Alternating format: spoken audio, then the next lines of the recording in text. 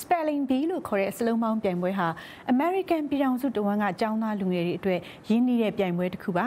ခက်ခဲတဲ့စကားလုံးတွေကိုအလွတ်မှတ်သားရွတ်ပြနိုင်တဲ့သူတို့ရဲ့ဉာဏ်ရည်အစွမ်းကိုကိုလိုကျောင်းသူကျောင်းသားတွေဒိုင်တွေနဲ့ပြည်သက်အများပြရဲ့ရှေ့မှာစင်မော်တက်ပြီးစလုံးပေါင်းရှင်ပြိုင်ကြရတာပါ ဒီလိုပြိုင်ပွဲတွေကိုအားကျပြီးအလားတူပြိုင်ပွဲအစီအစဉ်တစ်ခုကိုအိန္ဒိယနိုင်ငံဘန်ဂလိုဒေသမှာစင်ရသားကလေးငယ်တွေအတွက်စလုပ်ခဲ့သူကတော့ TV Rama Krishna ပါ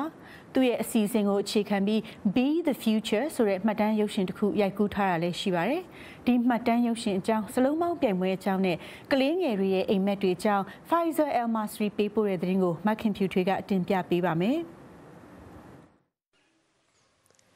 ကောင်းမှုနဲ့ပညာရေးတရက်ကဘဝတွေပုံမှုတိုးတက်အောင်လုပ်ပေးနိုင်တယ်ဆိုတာကို TV Rama Krishna ကောင်းကောင်းသိခဲ့ပါတယ်။ချွတ်ချွတ်တက်တက်ကြီးပြင်းခဲ့ရပေမဲ့သူ့ကိုကူညီစောင့်ရှောက်သူတွေရဲ့ပံ့ပိုးမှုကြောင့်ပညာသင်ကြားခွင့်ရခဲ့ပြီးနောက်ဆုံးအမေရိကန်ပြည်ထောင်စုမှာမြို့ပြအင်ဂျင်နီယာဘာသာရပ်နဲ့ဒေါက်တာဘွဲ့ရယူနိုင်ခဲ့ပါတယ်။ပင်စင်ယူပြီးတဲ့နောက်မှာတော့စနီးတယ်နဲ့အထူဘန်ဂလိုမြို့ကိုပြန်လာခဲ့ပြီးတော့1998ခုနှစ်မှာဆာဟာစရာတီပီကပရိုက်တာပညာရေးဖောင်ဒေးရှင်းကိုထူထောင်ခဲ့ပါတယ်။ သမီးဖြစ်သူဆာဗာရာဂျန်ဒရာကဒီ foundation ရဲ့အကြီးအကဲအဖြစ်နဲ့တာဝန်ယူဆောင်ရွက်ပေးပါတယ်။ Sahasra Deepika is a Sanskrit word that means Sahasra Deepika ဆိုတာကတက္ကသဘာသာစကားပါစီမီတထောင်ကိုအထိပ္ပယ်ရပါတယ်ကလေးငယ်တွေလိုအပ်တဲ့ချစ်ချင်းတနာကျင်နာခြင်းနဲ့မျောလင့်ချက်လင်းရောင်ကြီးတထောင်ဆိုတဲ့သဘောမျိုးနဲ့အဖေကယူထားတာပါလွန်ခဲ့တဲ့နှစ်20အတွင်းဒီ foundation ကနေနွမ်းပါတဲ့ကလေးငယ်တွေအထူးသဖြင့် main ကလေးငယ်တွေရာနဲ့ချီကိုကူညီပြထောင်ပေးခဲ့ပါတယ်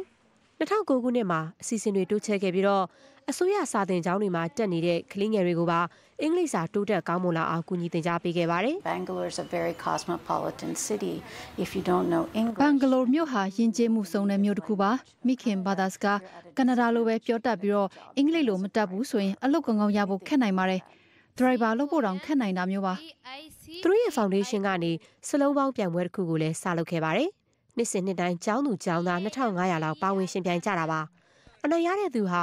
ပြိုင်ပွဲကြီးမှုကျင်းပသူတွေပေးတဲ့ကောလိပ်ကျောင်းပညာသင်ဆုနဲ့အတူတခြားဆုတွေနဲ့အခွင့်အလမ်းတွေကိုပါရပါတယ်။ The scholarship to college is a really really important uh, prize အနွမ်းပါဆုံးလူမှုအတိုင်းဝိုင်းကလာကြတဲ့ကလေးငယ်တွေမို့ကောလိပ်ပညာသင်ခွင့်ဆိုတာကသူတို့အတွက်သိအရေးကြီးတဲ့ဆုတစ်ခုပါ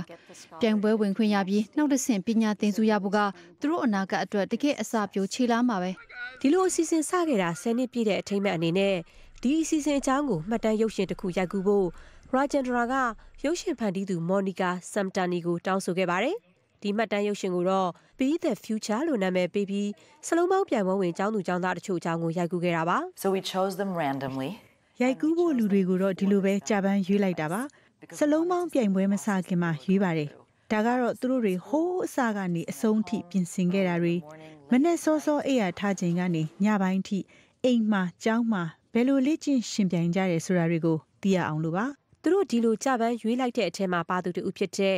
ပရီယန်ကာဟာစလုံးပေါင်းပြိုင်ပွဲမှာလည်းအနိုင်ရတဲ့သူဖြစ်တယ်လို့မော်နီကာကပြောပြပါတယ် She's a girl that says to herself စုရသွားတဲ့ main ကလေးငယ်ကသူအခုလိုဖြစ်လာအောင်ပံ့ပိုးမှုတွေဟာသူ့အနာဂတ်အတွက်ပိုကောင်းလာစေုံသာမက သူမိသားစုနဲ့လူမှုအတိုင်းဝိုင်းတစ်ခုလုံးရဲ့အနာဂတ်ကိုပါပိုကောင်းလာစေတယ်လို့ပြောပါတယ်။ဒီစီဇန်ကိုအဓိကဆောင်ရွက်နေသူတွေကတော့အခုရိုက်ကူးလိုက်တဲ့မှတ်တမ်းရုပ်ရှင်ကနေတခြားကလေးငယ်တွေလည်းအားကြလာပြီးစလုံးပေါင်းပြိုင်ပွဲတွေမှာအောင်မြင်မှုတွေရလာပြီးတော့တောက်ပတဲ့အနာဂတ်အခီးတွေဖန်တီးနိုင်ကြစေဖို့မျှော်လင့်ထားကြတာဖြစ်ပါတယ်ရှင်။